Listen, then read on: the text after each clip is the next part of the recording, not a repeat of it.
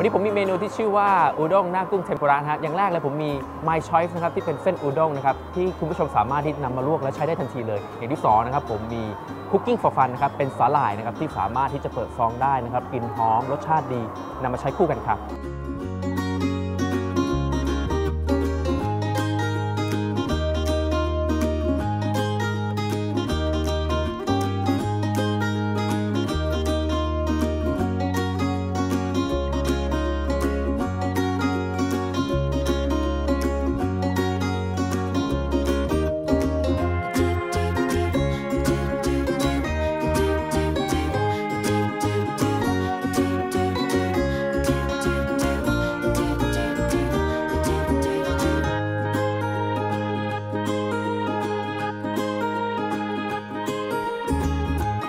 วันนี้นะครับผมจะมาทำอูด้งหน้ากุ้งเทมปุระนะฮะอย่างแรกเลยผมมีเส้นอูด้งนะครับอย่างที่บอกคุณผู้ชมไว้ว่าสามารถที่เราจะลวกนะฮะหลังจากนั้นมาก็สามารถที่จะใช้ได้ทันทีเลย เราก็ได้เส้นเรียบร้อยแล้ว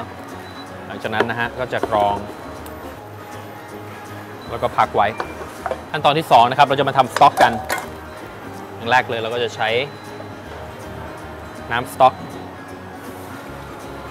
มีอันนี้จะเป็นอ่า งดาชินะฮะ มิริน ผมก็จะใส่ผงเวานิโตะหลังจากนั้นแล้วผมก็จะกรองนะครับ ไม่ให้เดือดแรงจนเกินไปแล้วผมจะปรุงด้วยโชยุกรองนะฮะ เพื่อทำน้ำสต๊อกของเรา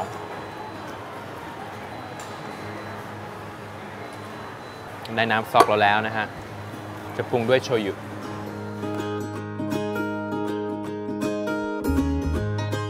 หลังจากนั้นแล้วนะครับผมก็จะนำกุ้งนะครับมาทอดเป็นกุ้งเทมปุระ โดยใช้แป้งเทมปุระนะฮะผสมกับน้ำถ้าจะให้ดีเนี่ยผู้ชมควรน่าจะเป็นแบบน้ำเย็น เพื่อต้องการที่จะให้แป้งเนี่ยฮะเกาะตัวกุ้งได้ดี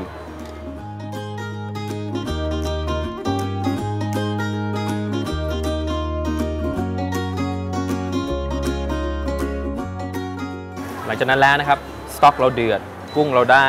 เราก็จะมา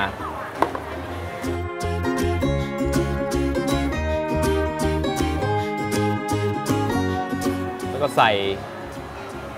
ต้นหอมนะฮะ ลูกชิ้น แล้วก็สุดท้ายก็จะเป็นสาหร่าย แค่นี้ก็จะเสร็จเรียบร้อยแล้ว เราได้อูด้งหน้ากุ้งเทมปุระ แค่นี้ก็เสร็จเรียบร้อยแล้ว อูด้งหน้ากุ้งเทมปุระครับ